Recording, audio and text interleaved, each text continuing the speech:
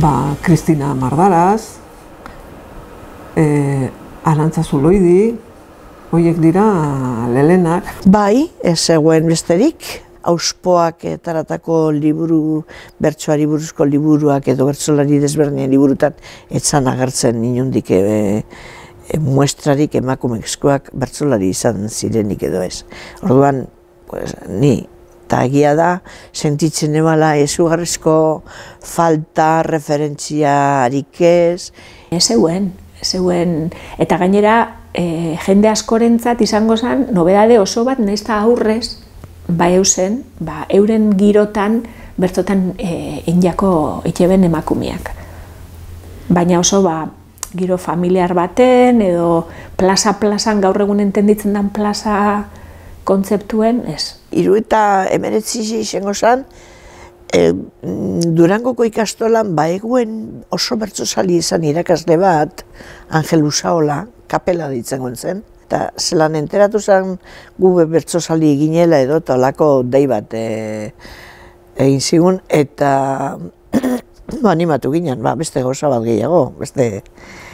Et, Bai, mm, gure asmoa etzan gero bertxotara dedikatzea edo basan bertso, taldea egin, bertso, bertxotan ikasi eta bueno, pues, eh, aber zer urteetan da ben. Kristina eh, Mardaraz izen zana eh, Piskat bertsozari elkartean eh, sorreran eta egon zen, bertsolari elkartean sorreran egon zen, eta txapelketetan, txapelketan modernoetan izango gu, ja, entzun zen lehenengoko emakumea hotza edo bera izen zen. Bertsolari elkarteak antolatutakoa. Larogeita bostean hasi, larogeita bosteko udazkenean hasi, eta larogeita zeiko martxoan e, finala. Egin genuen izen zen, kanporaketa batzuk antolatu aurretik, e, larogeita bostean jokatu zirenak, eta hor hartu neman partenik. Zaio bat, zaio baten, amurrion jokatu gendun zaio baten. Bueno, berako zondo e, kontzetan dugu, baina e, zelan danak elitzu zin, ez, entzubenin hori eta bere presentzia eta indarra. Eta txapelketan bai gogoratzen dut, zugarrizko isiltasuna egin zela ni mikrofonoaren aurrean, nengoen bitartean eta bertxotan hasi arte. Eta bertsoa amaituta gero, ai, nik ondo dakit, eta grabazioak hor daude, nire bertsoa etzela izan kalidade honekoa, baina jentearen txaloak txapeldun bati bestekoak. Egia da, e, jenteak ez dakit behar zuen emakume bat ikusi holtza gainean, nik uste du baietz, ze erantzuna hori izan, jenteak behar zuen emakumea ikusi iztenario gainean bertxotan. Eta zein e, importantzia dukan irudiak, ez? Bakarrik Kristina Mardaraz bere gona horiekin ikustea tablau batean, baze e, eragiten duen, ez? Entzule guztirik ja, burun zazpi gauza pentsatutzeko ematen die, ez? Eta zentzurtan, baze importantea izan dan. Orduan, prakak ere erabiltzen dituen, gonia ere bai, kalian e, jasteko, baina argi neukan, estenario gainean emakumea izan behar nintzela. Orduan, Nere bertsoa igual esan distingiduko emakumezkoen bertso moduan, baina ikusten zegoenak ikusi bertzuen emakumearen zerbait.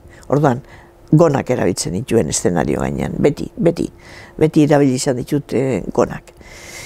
Eta gero, saiatzen nintzen emakumen mezua, aportazio bat egiten, e, eta hori ja, etxetik eramaten nuen pentsatuta zer esango nuen besterik ezpada agurrean. Ba, nik ez nuen hartzen hola mm, ordezkaritza hori neukan moduan, baina bai, bai kanpotik bai emakumeen aldetik eta bai e, bestela, ba jasotzen neuen e, erantzun hori.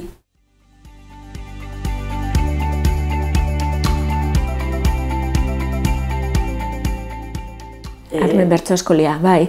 Bueno, hori zen zen, eh, eskolaz kanpoko ekintzen artean, guraso talde batek, hiru aitak, eh, martxan jarri eben zapatutarako lako aktibidade bat, ba, beste gauza batzuk itxezien bezala, ez da?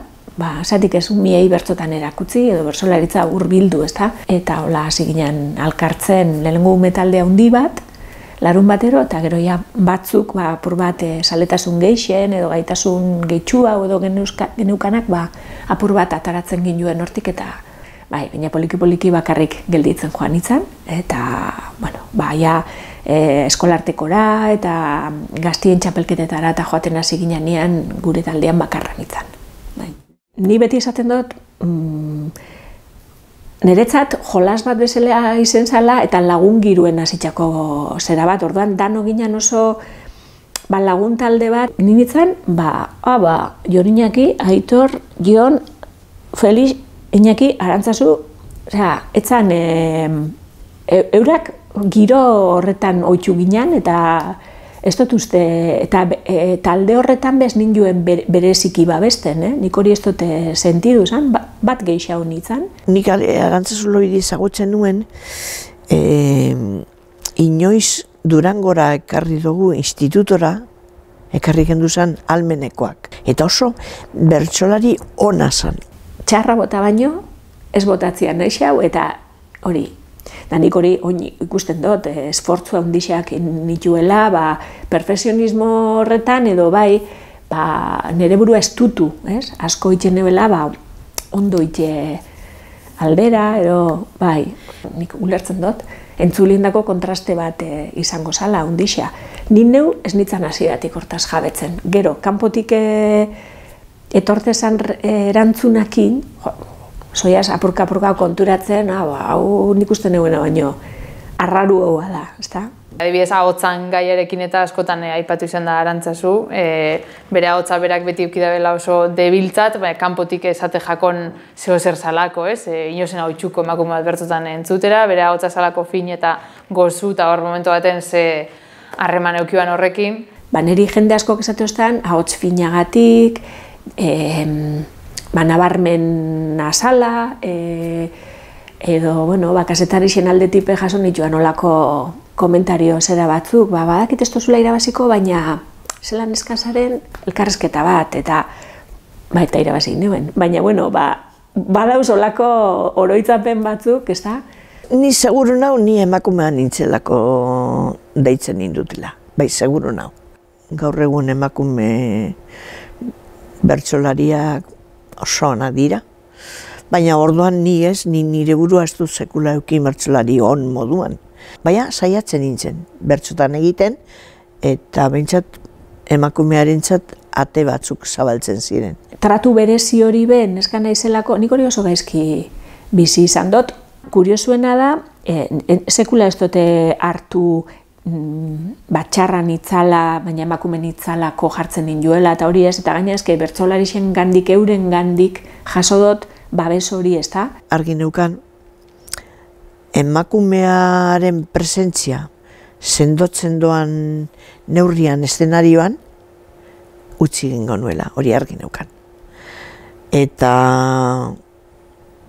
ikusi nebanean zer zetorren atzetik, zer edertasun zetorren, banik esan eman, ja gehiago ez. Ba, gurekin batera, gerotxu hau, hasi ziren, e, estitxo arozena, iratxe ibarra, mm, horrekola, gure, gure inguruen, eta gerotxu hau maialen. Oian eperea, honintzen beita, itziar bikiak, amaia agirre, e, bueno, ze, usu alberdia, hor zeto zen, ez? E, Ainoa agirra zaldeki horri ja ziziranean mobitzen eta eta hor ikusi neban ja hor zetorren kalidadea eta gogoa. Eta ja hori ikusita bat ez oian eperia izan zan lehenengokua umeari titia manda estenariora igoten ikusi nuenean ja pentsatu nuen. Bueno, hartu lasai arnaza.